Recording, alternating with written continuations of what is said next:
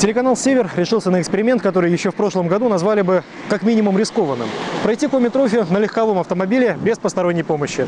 Для этой цели мы выбрали вот такую городскую малолитражку, которая никак не предназначена для езды по пересеченной местности. И вдобавок с очень низкой подвеской. Хозяина нет на реке. Настоящего хозяина. Вы видите машины какие? Сейчас КАМАЗ уже р- редкость на порог.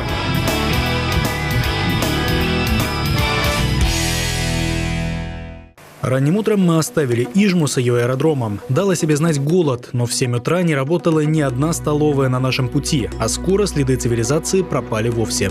Выезжая на материк, все же стоит запастись продуктами, иначе придется передвигаться в проголодь до самой Ухты. А это сомнительное развлечение.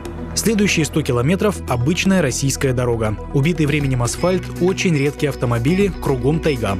Ехать приходится осторожно, чтобы не собрать колесом какую-нибудь неожиданную яму, но позволить себе скорость в 90-110 вполне реально.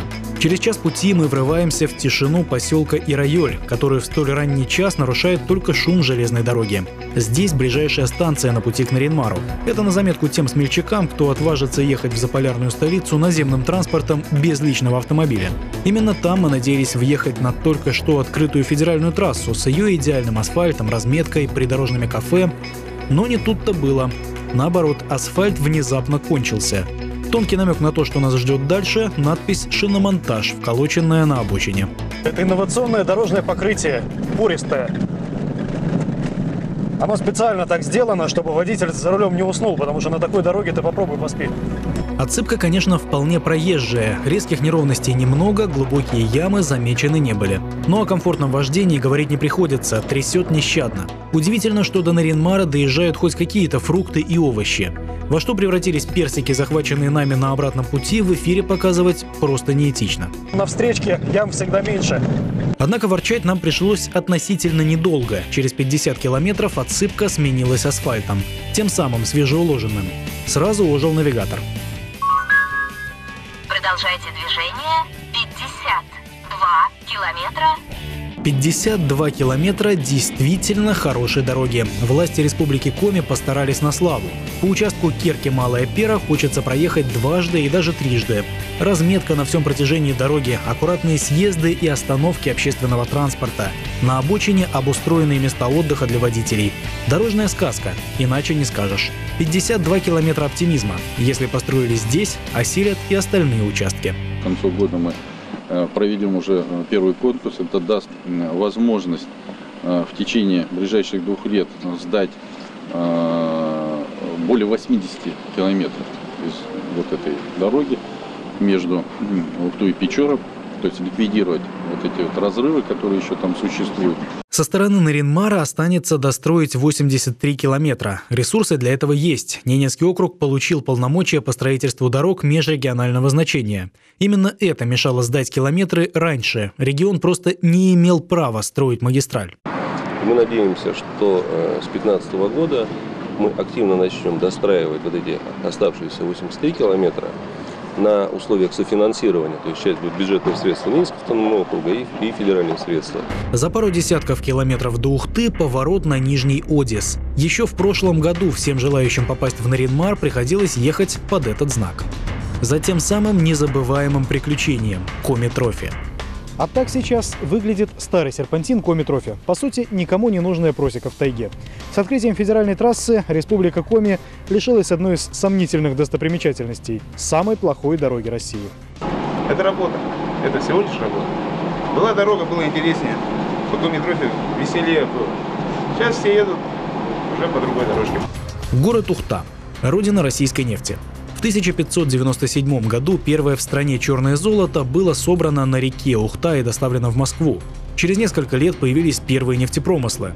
Тогда нефть собирали не так, как сейчас. Черпаки до ведра – вот орудие труда первых нефтяников.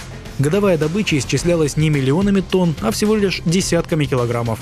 В 20 веке сюда пришел ГУЛАГ, узники которого и выстроили поселок, вскоре разросшийся до города Ухта. По-настоящему нефтяного города. Все это нам рассказывает Андрей Пулькин, начальник управления внешних связей Ухтинского государственного технического университета. Декорации на фоне – экспозиция университетского музея. Заглянуть сюда следовало бы всем автопутешественникам. Музей сработан добротно и открыт для всех желающих. Самый, пожалуй, любопытный экспонат – макет единственного в России месторождения нефти, где черное золото добывают не из скважины, а в шахте. Суть его заключается в том, что э, нефтенасыщенный пласт, он э, разогревается огромной системой скважин, которые вот здесь подсвечены синим цветом, да, это паронагнетательные скважины, так скажем, нагревательные скважины, которые разогревают э, пласт э, с нефтью, э, нефть, соответственно, разжижается и самотеком по другим скважинам, это уже другая система скважин, вот они отображены здесь красным цветом, да, она поступает в, так скажем, резервуары подземные, э, где собирается вот эти вот, э, это, это нефть, а потом поднимается на поверхность. Такое месторождение – мечта студента. Существует тысяча способов подъема нефти из шахты. Каждый новый дешевле и эффективнее предыдущего. Внедряются изобретения, получаются патенты, практически все разработки ведутся на базе УГТУ. Ухта и Наринмар – города-побратимы, нефтяные, суровые, северные. И при этом очень разные. Особенно бросается в глаза разница на овощных развалах. Разнообразие при цене заметно ниже Наринмарской. Черешня была, сейчас слива, то абрикос пойдет, то клубника пойдет. Следуя через Ухту, стоит уделить несколько минут на осмотр еще одной городской достопримечательности. Удивительное здание, не имеющее аналогов. Пожалуй, хороший символ постсоветского наследия. В советское время религиозным объектам очень часто подменяли функционал. Так было, например, с Пустозерской церковью, которая стала сельским клубом, а сейчас полузаброшенная стоит в деревне Устье. В Ухте сделали с точностью да наоборот. И за моей спиной бывший клуб, на который повесили крест, смонтировали колокольню, и вот готов православный храм. Ближе к ночи Ухту накрывает темнота. Непривычно после Наринмарского полярного дня. При этом городские власти на автолюбителях откровенно экономят. Интересная особенность ухтинских и сыктывкарских дорог. Здесь уличное освещение просто не горит. Сами местные водители объясняют это тем, что, мол, ну как, зачем?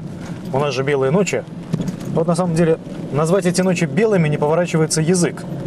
А состояние дорог в городе как после бомбежки. Поэтому ездить крайне некомфортно. Утром мы снова выходим на трассу. 333-километровый пробег до Сыктывкара занимает часа 3-4. Дорога меняется до неузнаваемости. Крайний север кончился. Тайга по обочинам сменяется заправками и придорожными кафе, деревнями и небольшими уютными городками. Каждый дорожный знак дублируется на русском языке и языке коми. В поселке со смешным названием Ляли мы встречаем еще один объект советского наследия – разрушенный православный храм. Церковь Богоявления Господня расположена на высоком берегу реки, в центре села. Здание храма строилось с 1852 по 1957 год. В 1941 храм в селе был закрыт для проведения богослужений, а здание национализировали и передали местным властям для хозяйственных нужд.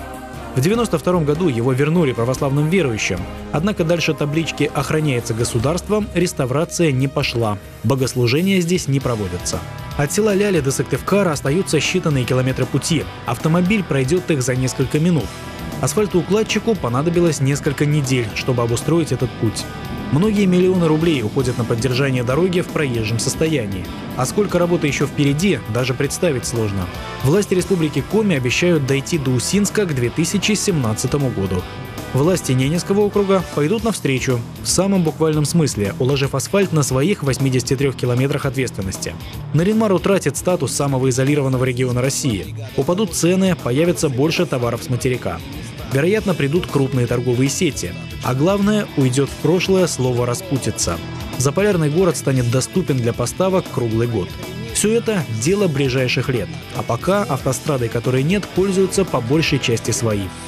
Дальнобойщик Николай на комфортабельном грузовике, Константин и его КАМАЗ, которые на пару скучают по Коми-трофи. Была дорога, было интереснее, по Коми-трофи веселее было.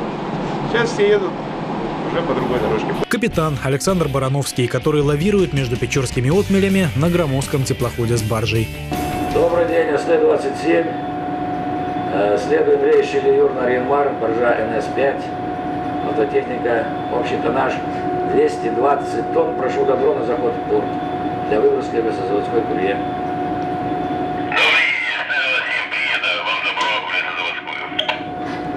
Добро принято, спасибо.